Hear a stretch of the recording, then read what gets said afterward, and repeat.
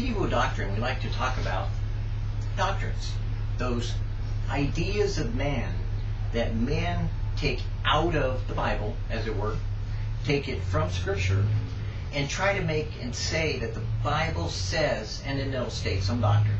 And the doctrine is the idea that it is a summation or a topic of a scriptural truth. Now, the scriptural truth should be able to be stated by itself, and it should have its own name for it. I personally, in integral specificity, a theological premise that states that you can study and apply the scriptures as they are, the way they are, where they are, and take your leading from that, because the Holy Spirit then inspires you and conspires in your heart to agree with the Word of God. That I don't personally hold to this idea of making doctrines in order to understand the Bible, but rather to read the Bible and understand it as it's written. So, humorously, I have to deal with lots of times in video doctrine false doctrines, false ideas that people have that they say comes from the Bible.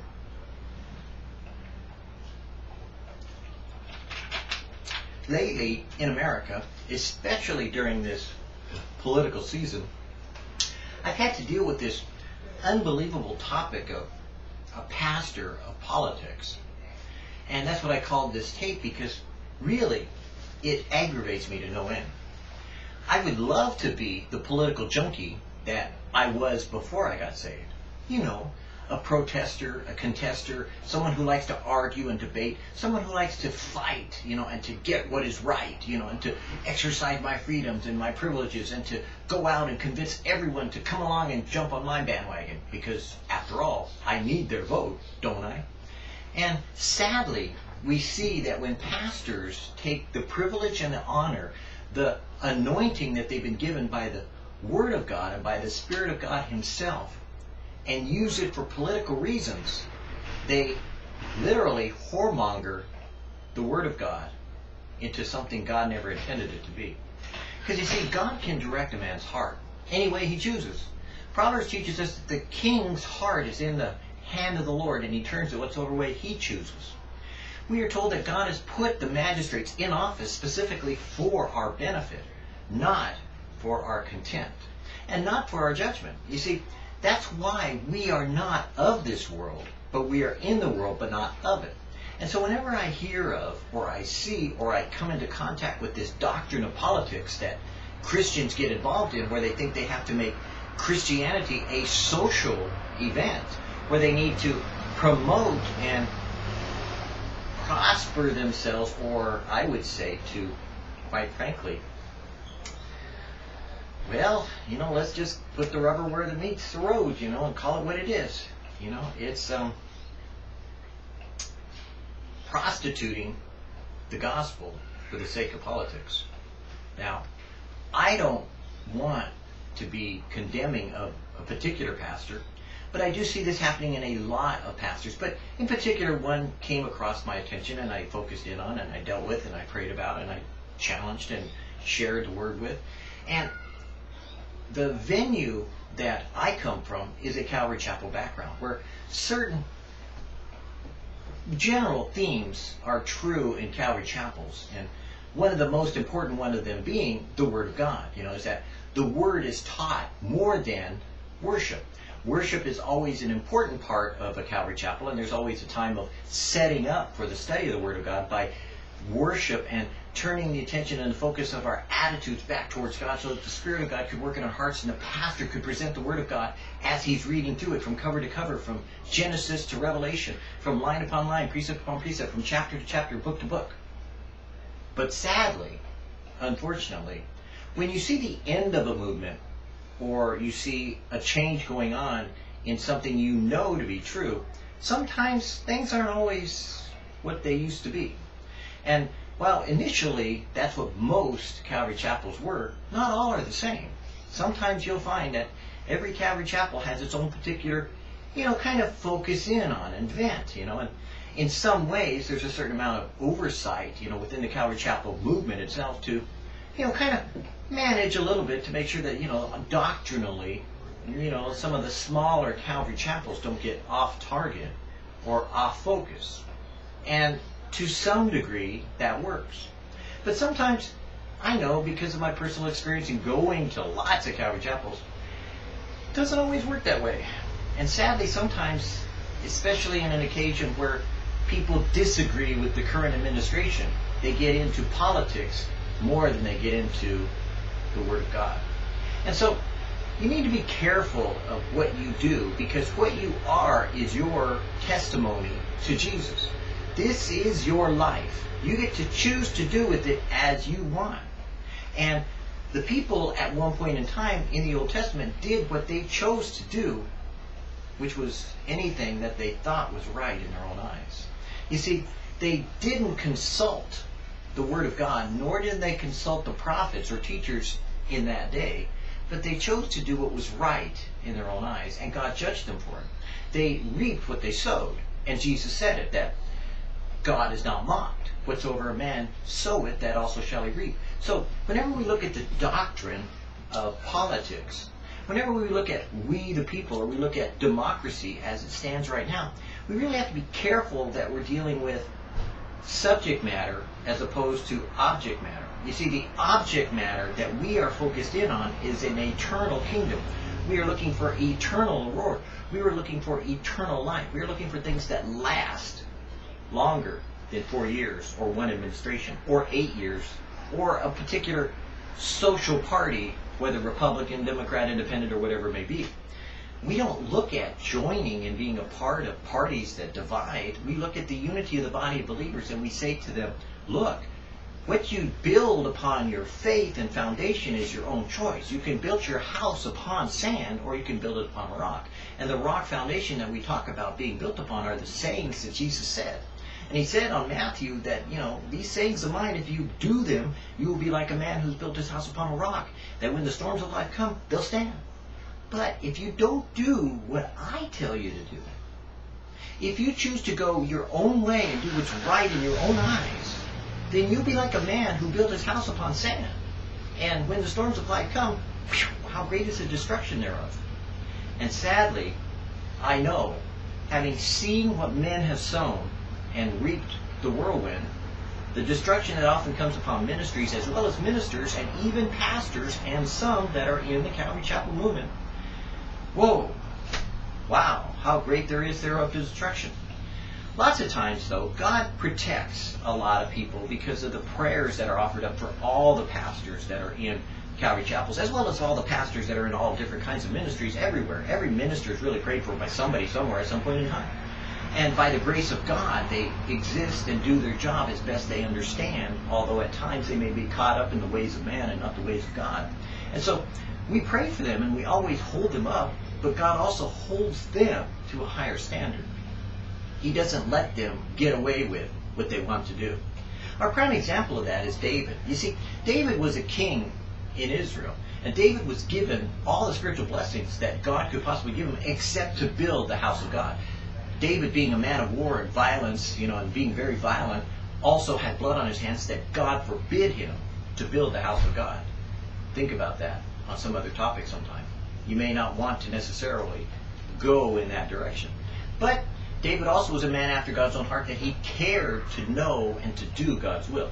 Even though he was a violent man, even though he violence was his nature, he chose to observe what God was doing and wanted to be like God wanted to know God, wanted to love God, and follow after God's heart. And so when God confronted him, God always found in David a man after his own heart. But David, at some point in time, decided that, you know, he, he's king. He can do what he wants. He could do his own thing. So he did. He chose to disobey the commandments that God had already given him. And he decided to commit murder and adultery in the sight of God and the people. And he tried to hide it and cover it up. He tried to play politician. He tried to use his political force to accomplish his own will, choosing to do what he wanted to rather than to listen to what God wanted him to do that day. And so he looked like he got away with it for a while. For a season, he seemed to exist and go on. But Israel wasn't winning the wars then. Israel wasn't accomplishing its purposes. Israel was beginning to have less of an effect on the world that God had said it would be a light to the nations. Then the prophet came and confronted David the prophet didn't tell David his sin. The prophet gave him a story and said, What should we do with this man that has done so great a sin in the sight of God and all the nation? And David said, Stone him. And he says, You are the man. You see, according to David's own mouth, he condemned himself. But according to God's grace, he saved him. Because God knew David's heart. David at that moment admitted and fell to his face and fell to his knees and said, I am the man. And he knew he was guilty. And he knew he needed judgment. He knew he was responsible to the people for their spiritual condition, much less dealing with and delegating their spiritual reality of faith to the prophet and to the temple that was to be built and to God himself and to set an example. He was supposed to be that example, but wasn't. He failed and fell. And so God said, you pick the judgment. Here's what you get to choose from. And so his child dies. A lot of children of Israel die at the same time, by the way, if you read very carefully that story. So there was consequences to the nation as well as to David. And specifically, unfortunately, the consequences continued on beyond his lifetime, even in his own household, and split the nation. What a tragic mistake to follow politics and thinking you can do what is right in your own eyes.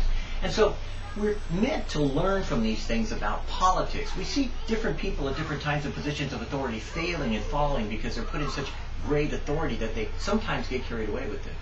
Sometimes that happens when men of God also turn their back on God and fail to do what they are called to do. I think of particularly when Samuel was called into the ministry. Unfortunate, Eli was high priest at the time, and Eli didn't raise his children the way they should have gone, but rather God chose Samuel to be a prophet after his choice, and not Eli's children who rebelled and wound up perishing men of God ought to raise up underneath themselves children of God that would be likened unto Jesus himself, that they would go after those things that were pure and holy in the sight of God, not to go after the ways of man. We are told to seek ye first the kingdom of God and his righteousness, and all these things will be added unto us. Seek ye first the kingdom of God. Now, interesting is that the kingdom of God is not the kingdom of man. Behold, it says in heaven in the Revelation that the kingdoms of this world have become the kingdoms of our God. So the day is coming when all the kingdoms of the world, all the nations of the world are turned over to God himself. And he holds them in the palm of his hand. But until that time, we're not told to be a part of those kingdoms because they are of the God of this world who has blinded the men and women who do not seek to follow after God Almighty, but who have been deceived into following the world and its ways. And so we see in democracy people saying, oh, well, it's a Christian democracy. We the people, a Christian democracy. Now, Scripture nowhere does it say that God chose to promote and to state a democracy of the people, by the people, for the people was the greatest thing that there ever was, and that we should all jump on the bandwagon and say, hey, let's vote. But rather, God said, I can change a man's heart anytime I want to.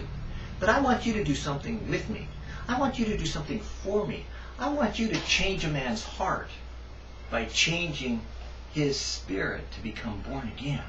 Not of the flesh, which obviously political systems are, because political systems are all fleshy endeavors of man trying to govern himself in a way that he thinks is right in his own eyes, but rather we who are born again need to be changed of the spirit that we become part of that spiritual kingdom that is seeking first the kingdom of God and his righteousness. For the kingdom of God is a spiritual kingdom. It's not of this world. It's not to be seen, Jesus said, but it is all around us. It is all about us. It is that place that God has said that we are already in, and he rules and reigns as king over all. And so, when I find in my mind that a pastor has sold his soul, so to speak, and his passions and his interests into politics, I find him very much deceived and chained like Joseph being dragged off into Egypt. Oh, sure, he served Pharaoh and he served others, but he did not yet accomplish that which God wanted him to do until the time that God exalted him and pulled him out of the dungeon and removed from him the blinders off his own eyes, so that he could save his brethren. Likewise, so too, men of God need to focus in on what God has called them to do. Pastors often forget that because they have no one that will come to them and say, hey, you know, I see that you're, you know, kind of caught up in this worldly thing. You know, you're kind of doing the world in its ways. You're kind of like, you know, acting wrong. Oh, they'll get lots of critics from the people saying, you're off, you're weird, you're a false teacher, you know. But that's not what God does. God didn't do that with David, and God doesn't do it with this man of God that I know that is in a Calvary Chapel that's really completely off. I mean, even his messages are all polit- political. I mean, my gosh, you know. When you use the pulpit itself for politics itself, you know you're wrong, and there's no anointing, and the people will walk away from you, even as they did with Jesus at some point in time when Jesus said things that they didn't want to hear. When you choose to survive the body of Christ over worldly ways versus spiritual ways, you need to figure out what testimony you're leaving behind you. Are you a pastor of politics? Or are you a pastor after God's own heart? Are you a man seeking to lead and to follow Jesus in all your ways, acknowledging Him? In other words, have you trusted God with all your heart? Because you see, politics is a lack of faith in God Himself. When a man can pray and ask God to lead the way, then they can choose to ask Him for anything at any point in time and any day that they want to. They can choose to follow the Lord their God with all their heart, soul, mind, and strength because they have asked Him what to do, where to go, and what to say. They have obeyed the voice of the Lord as the Spirit of God has worked in their lives because they have been prepared by the Word of God and by the church, by the very man of God who should have been reading the Word of God, teaching the Word of God, and living the Word of God himself, so that he would not be caught up in the politics of the day, even as Solomon had to make choices that seemed to be politically oriented, as opposed to those things that God said to do. But rather, you would find the more excellent way that Jesus said, which was to follow him today. So I see in the world and of the people, by the people and for the people, Christians failing the test that God has presented before them in choosing you this day whom you'll serve. Most people will stand up and say, hey, I'm a Republican. No, you're not. You're a Christian. But you may vote with the Republican Party at some point in time. Oh, I'm a Democrat. Well, you may be, but you're a Christian. You may vote with the Democratic Party at some point in time. But you see, voting really involves making a decision that God has given you the freedom of choice to do on your own, in your own eyes, thinking what is right, or to pray and to ask God what he would have you to do today. Because if he would have you to vote for a Democrat or Republican or an independent or to not vote, then you would know that it was God who said what to do. Because today, if you hear his voice, hard not your heart, it says provocation. It does not say that you should, oh, well, you know, God is far away and he cannot hear. God is so far that he cannot see. God is a deaf God and a mute God that he cannot speak. That he will not give me the wisdom that I need because he hasn't said, or has he? If any man lack wisdom, let him ask of God who breedeth up and giveth to all men liberally. Am I living as a Christian in this world, in politics, or am I being influenced of politics to be political in the world? That's the choice you make every day. Because you don't want to be a ministry of politics. You don't want to be a minister of political systems. You don't want to be a pastor of politics. Rather, you want to be a man of God after God's own heart. So choose in your doctrine very carefully what you think is socially needful and take it to God in prayer and find out that the power of God rests in prayer, not in performing acts of voting where you think that for a temporary solution you're going to put a band-aid on a wound that you don't even know what the root cause is. Often people tell me why they vote, and I just ask them one question. Did God tell you to? And more often than not, almost to a man, most Christians will tell me no, if they're honest. Most of the time, they won't even talk about whether they prayed or not because they'll talk about, well, the issue is obvious, so I didn't pray. This is obvious, so I didn't have to. I didn't need to ask God. If any man lack wisdom, oh, but I have wisdom, really. Trust in the Lord with all thy heart. Lean not into thine own understanding. In other words, no, you don't have wisdom. Because the scripture is true and every man that be, the Bible says that, that every man be found a liar and God be found true. So the scripture is true in that it says you don't have wisdom because man looks on the outward things, the politics of it, but God was on the heart. God has a will in politics, but you have to learn to walk your way through it in order to find Him in it so that you don't do it according to the political way, but you do it according to the Spirit of God in the way that He chooses to do today, and not your own way or figuring out what is right in your own eyes. The pastor of politics fails in all of Scripture. He always chooses the wrong side and doesn't know what the issues are because he's taken his eyes off of seeking first the kingdom of God and his righteousness. And he's found that he wants all these other things instead. You decide. You are the one whom God is inspiring today. You choose what you want to do with your doctrines today. Do you want to open your heart and follow Jesus in a simple way? Or do you want to get complicated and theological? Do you want to make it intellectual and religious? Do you want to be a religion of politics? Or do you want to make politics and religion subservient to your faith in Jesus Christ our Lord? If Jesus is your Lord, you'll ask him today, whom shall I follow and whom shall I obey? Is it the way of man and politics, or is it the will of God and not my will be done? I pray you choose this day whom you'll serve. But as for me and my house, we've already chosen and are serving the living God.